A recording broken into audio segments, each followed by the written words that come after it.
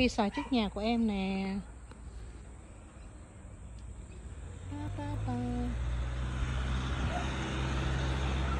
Năm nay trái nó không có được to. Cái trái này bự nè.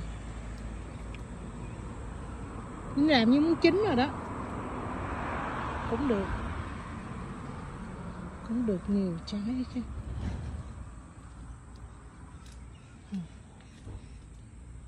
Năm trước nó chùm chùm đã hơn, năm nay không có chùm.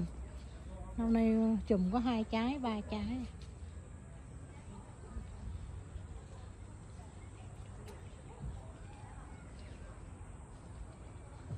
Năm trước nó chùm chùm, năm trước là cái này nè, chùm quá cho chờ bốn năm. Hôm nay không có.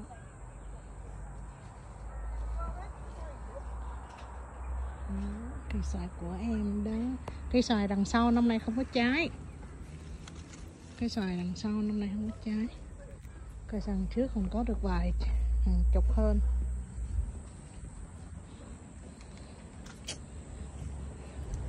Trái này nhỏ, năm nay nhỏ quá, năm trước to lắm nha. Sắp chín rồi. Cây xoài này thì có ok thôi còn cái sàn sau á xài à, bô bình gì đó nó ngọt hơn.